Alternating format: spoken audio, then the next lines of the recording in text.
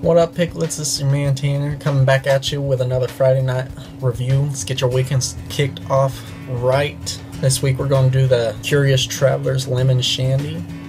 It's what most of y'all requested. We're going to do a little bit different this week, try some new things, trying to work on getting this a better review, I guess you could say. I guess without fail, let's get this going.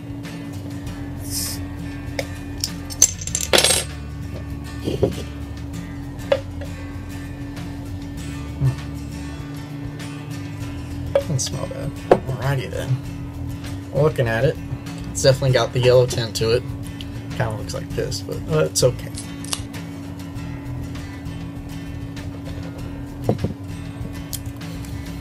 Hmm.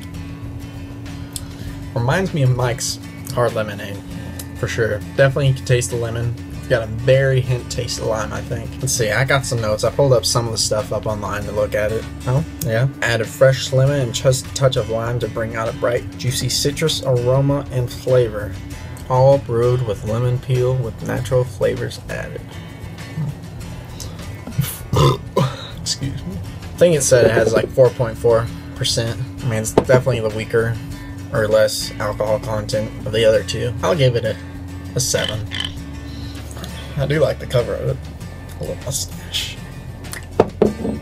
Touch of class. I mean, you can taste the lemon lime, but it's not very strong beer. I have to say that. I feel like it's one of those beers that'll come back from behind and get you. You drink so many of them, it's like a creeper, creeper beer. There we go. Come back and get you when you're least expecting it. All right, guys. Well, that's it this week. Happy Friday the 13th. Go party on, but safely. Go watch Friday the 13th. Drink Friday the 13th beer, whatever you do. That's all you. Don't, well, if you murder people, that's all you do. I'm no judge. Congratulations, those graduating, and all of everyone finishing their finals. Cheers.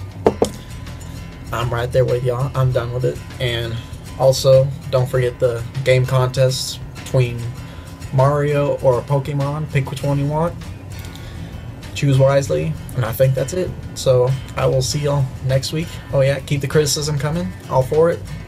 What have you? The twos.